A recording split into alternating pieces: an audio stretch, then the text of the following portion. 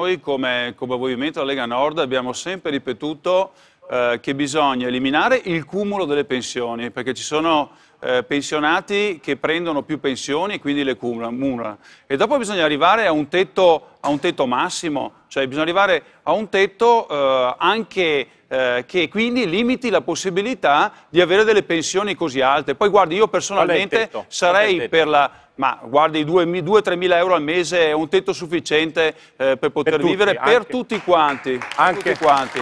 Anche, Poi, per, uh, il vista, anche per uh... dal punto di vista personale, per risolvere questo problema che c'è ad ogni legislatura uh, dei famosi 4 anni, 6 mesi e un giorno, basta eliminare completamente il vitalizio e equipararlo a quello dei lavoratori dipendenti. Tu avrai tuo, la tua pensione a 67 anni eh, e un giorno e ce l'avrai a seconda dei contributi eh, che, che verserai secondo il sistema Paniz, Paniz, come fa? Sarebbe, Exacto.